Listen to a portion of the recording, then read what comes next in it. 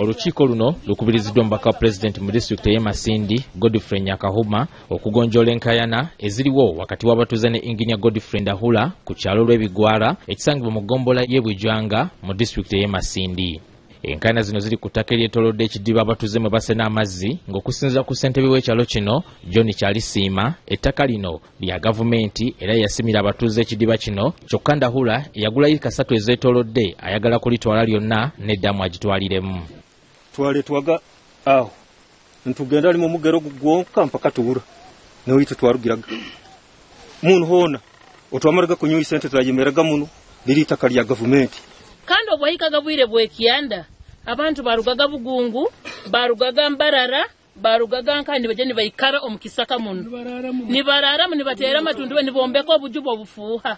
Wabula ndahulu akakasizza nga bw'alina obwannannyini ku ttaka lino lyagamba nti yaligula ku wire kamugasa ba executive abaloho bamu baloho mzee sabawa murozerege hantu.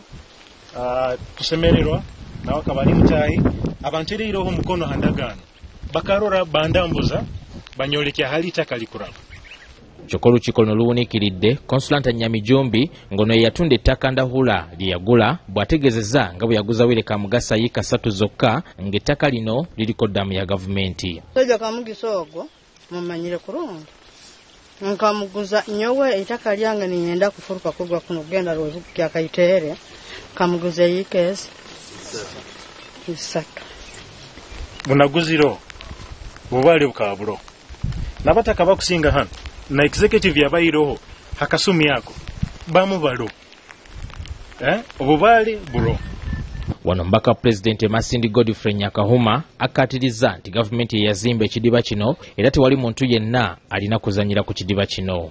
Kandi kintu kikuru muno a puroguramu yaitu ka gavumenti kurora ngu twarwanisa obunaku obu nturava mu bintu infrastructures nka zinu gavumenti eze kuhikyaho abantu. Omuntu lwakuba nagamba nga aine eitaka okwika ha kikungu ngu kandi edamu egeri abantu n'ebisoro eyi baligurura n'ebisoro ebi bikolesa